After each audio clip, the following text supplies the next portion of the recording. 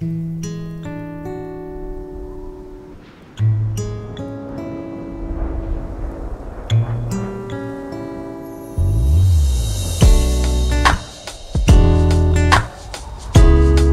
name is Boikano Sikwane. I'm originally from the Northwest, uh, currently live in Centurion.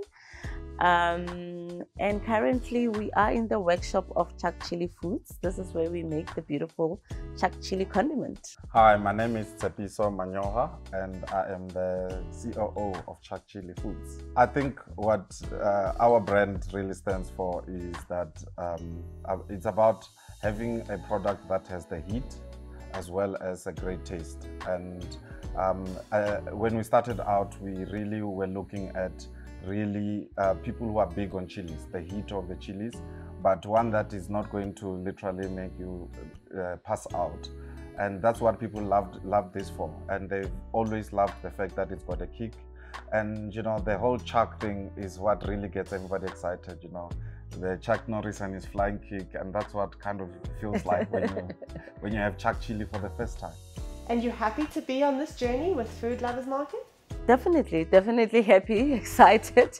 Uh, sometimes I wake up with anxiety because you know it's so big for us, but uh, definitely excited. It's gonna give us a leap, a huge leap we make one product, it just comes in three different variations. So we have a mild, we have an original, and we have hot. And the most popular one is hot, and hot is very hot. Uh, but over time, we got to learn that every whatever production we're making, we have to double the batch for hot because it just goes. and it is so funny because when people taste it for the first time, they always say, it's so hot, but the numbers are not saying that. So yeah, we started out, well, we used to cook in my garage uh, back then in Roodepoort, my little garage, and we would sell to um, friends who would take it to work. And then we started in markets, craft markets, started selling there, then started going to small little retails. And yeah, now we're here, then we moved into this facility. Uh, what was the process like onboarding as a supplier with Food Lovers Market?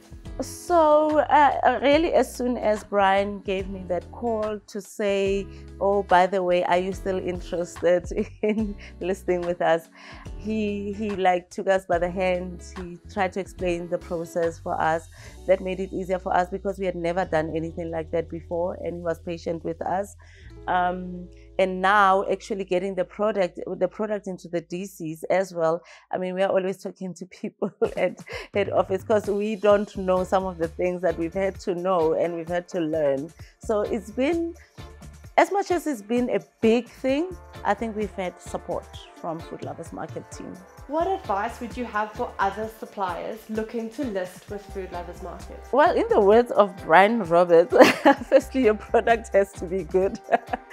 yeah, so, but um, really it's just to have a few basics in place, um, basics like your health stuff, um, you have to have a quality product because I know that the buyers keep the products uh, in their shelves. He wants to test and see is going to bomb out.